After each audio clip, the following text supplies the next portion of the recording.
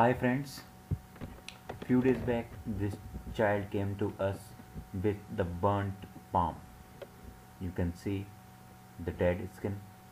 After that povidone iodine solution was applied on it continuously and the wound got healed. You can see the dead skin now could be removed as the wound has been healed completely.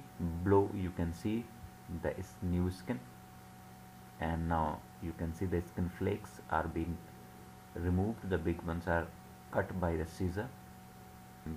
All of the dead skin from the palm and the fingers.